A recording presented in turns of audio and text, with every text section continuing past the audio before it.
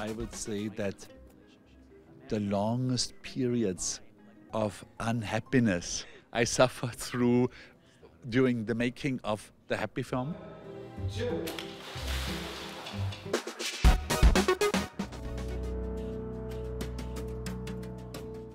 Mas é interessante que ele não se aproxima, né, digamos assim, do que seria, digamos, uma espécie de elite das artes plásticas e após semana de 22.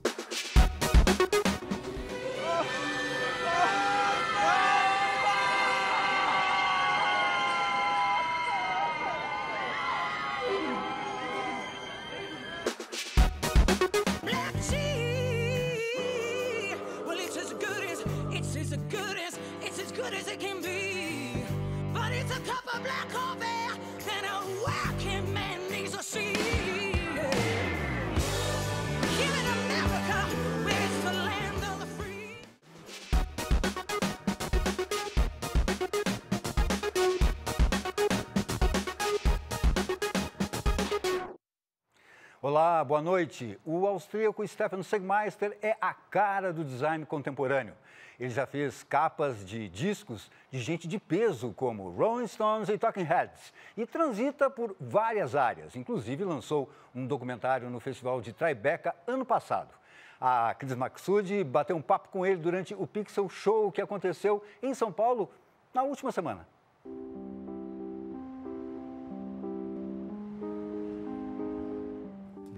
Design studio in New York, and this was our very first film, basically trying out if it's possible to design my own life in such a way that at the end I would come out happier. And I went for three months to meditate, and then I went uh, three months into therapy, and then I took uh, drugs, legal drugs, so like a medication for three months, and to see what would happen. May all beings be happy.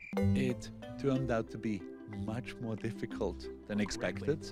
I would say that the longest periods of unhappiness I suffered through during the making of the Happy film.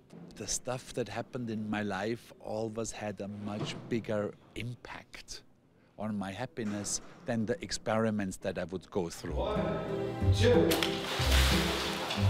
And you are the main character of your film, right? This is not the first time that you use your own body uh, to to create something. so much of what you see out there as being, let's say, communication design somehow is very cold and pretends to be almost made by a machine.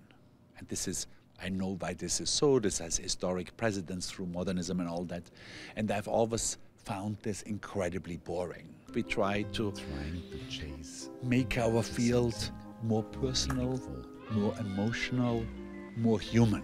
I came here on Avianca through Colombia, and like every other airline in the world, in the little seat pocket in front of me, there is a card stuck that shows me where the emergency exits are. I have never, ever in my life seen a person take that card out of the seat back pocket and actually study it. Until other airlines, and I think Virgin was the first, figured out let's use the little screen that we have anyway and let's make a musical out of this. So much fun, so, so much more emotional. That musical about the airline safety features right now has, four, has 14 million views on YouTube, seen by people who don't even sit on planes. Yo, yo, now that you're backing your head to the rap scene, now that eyes are glued to the flat screen. If the cabin pressure's changing, you know that we won't be leaving you hanging. You are now working on the beauty theme, right?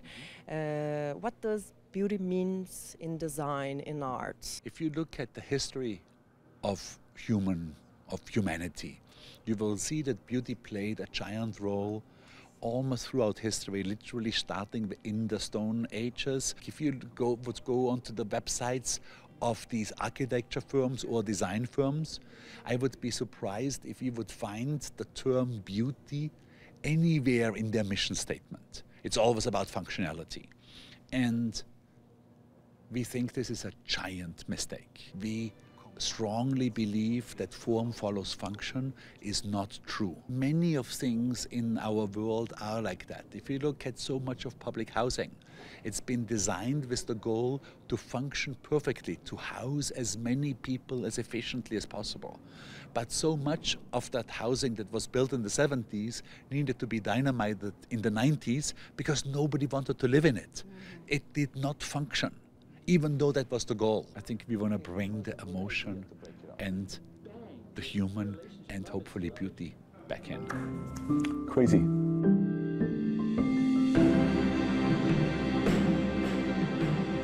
Trying to chase after something more meaningful.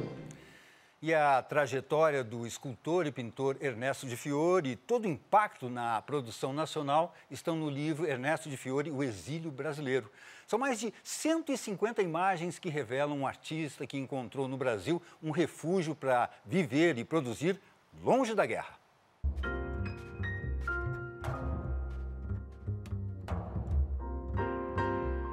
O Ernesto Fiore, no caso, ele é um artista, ele viveu nove anos aqui no Brasil, de 36 a 45. Quando ele chega no Brasil, ele já é um artista famoso, um escultor famoso na Europa, é um escultor é, de, de, projeção, é um, é um escritor assim de artigos de arte, cultura, político, um polemista, né? Por isso mesmo que ele vem dar um tempo aqui no Brasil, fugindo lá da, da, da Alemanha nazista em 36, né? Que está crescendo a coisa da, do nazismo.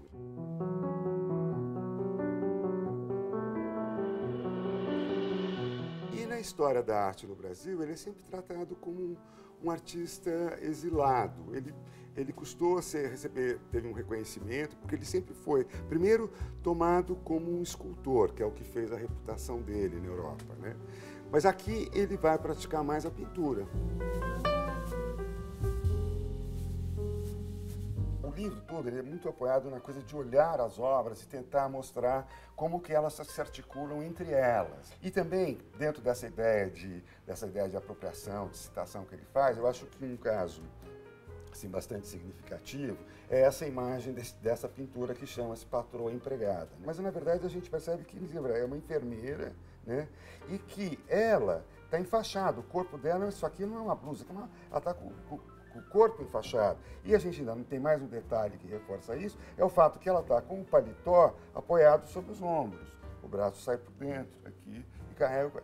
E isso aqui me parece uma imagem bastante típica de filmes do período da guerra, porque na verdade é meio uma nostalgia do De Fiore, de um mundo que ele conhecia.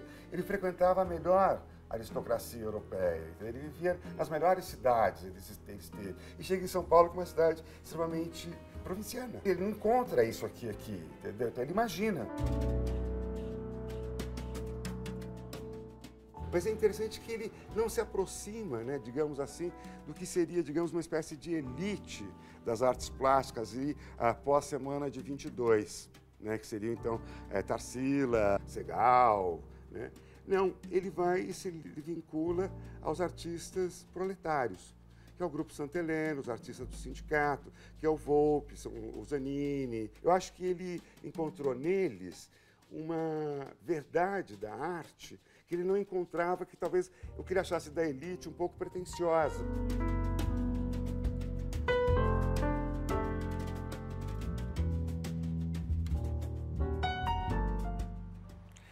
E um dos mais reconhecidos instrumentistas brasileiros está lançando o primeiro álbum gravado aqui. É o disco Aluê de Ayrton Moreira, que foi parceiro, entre outros, de Miles Davis, Herbie Hancock e Chick Corea. Que tal? O álbum é uma espécie de revisão dos mais de 50 anos de carreira. O percussionista vive nos Estados Unidos, por isso, ter a chance de vê-lo por aqui é rara. De hoje até domingo, ele faz shows no Sesc 24 de maio. E na próxima semana ele vai estar aqui no estúdio do Metrópolis. Você não pode perder. Assim como você também não pode perder o show do Caetano Veloso de graça no Largo da Batata em Pinheiros. Vai ser nesse domingo a partir das seis da tarde, com reforço ainda de vários convidados como Pericles, Criolo e Maria Gadu. Onde queres comício, flipper vídeo e onde queres romance, rock and roll Onde queres a lua, eu sou o sol. E onde a pura natura, o inseticídio. Onde queres mistério, eu sou a luz. E onde queres um canto, o mundo inteiro. Onde queres quaresma, fevereiro. E onde queres coqueiros.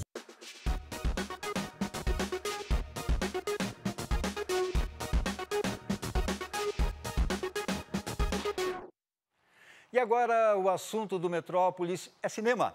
A dupla Riggs e Marteau está de volta. Os nomes dizem alguma coisa? Bom, eu vou ser mais claro. São os personagens de Mel Gibson e Danny Glover em Máquina Mortífera.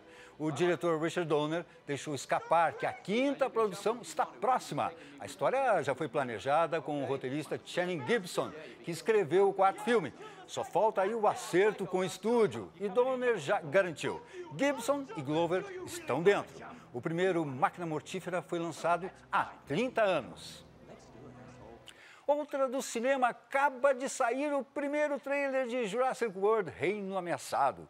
Chris Pratt e companhia voltam à ilha nublar para salvar os dinossauros. These animals deserve the same protections given to other species? Or should they just be left to die? These creatures were here before us. And if we're not careful, they're going to be here after.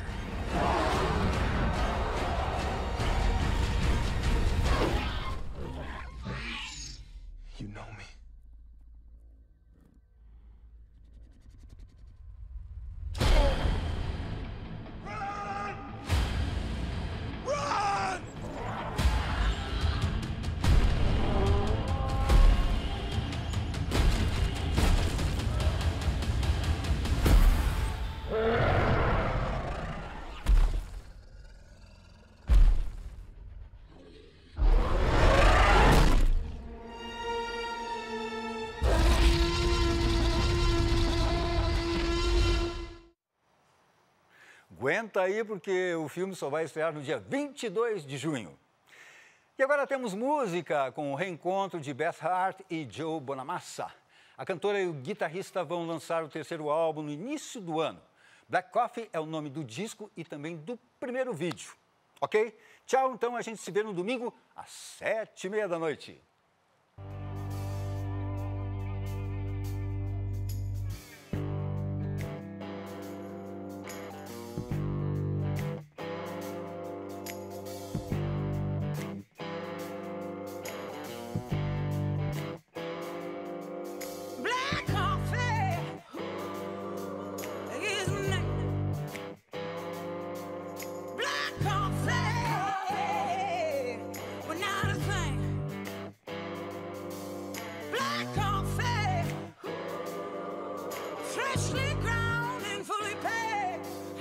that